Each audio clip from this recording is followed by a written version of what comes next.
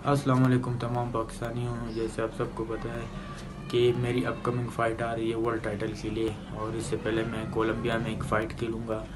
तो मैं, काफ़ी मुझे मसले हैं और मुझे स्पॉन्सर्स नहीं है और मैं नहीं चाहता कि मैं पाकिस्तान को रिप्रेजेंट नहीं करूँ और पाकिस्तान के लिए नहीं खेलूँ। लेकिन अनफॉर्चुनेटली मैं काफ़ी फंस चुका हूँ और मुझे ये मेरी शायद पाकिस्तान के लिए ये आखिरी फ़ाइट हो और इसके बाद मैं डिसाइड करूँगा कि मैं कोरियन नेशनलिटी लूँ या अमेरिकन नेशनलिटी लूँ। तो मैं नहीं चाहता कि मैं पाकिस्तान को छोड़ के जाऊँ और फिर पाकिस्तान को के लिए नहीं खेलूँ। मैं चाहता हूँ कि मैं पाकिस्तान के लिए खेलूँ और पाकिस्तान को ही रिप्रेजेंट करूँ।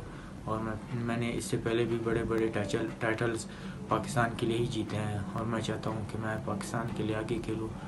लेकिन मुझे काफ़ी मसले हैं और ये मेरे लिए एक बहुत बड़ी बहुत बड़ा चैलेंज है।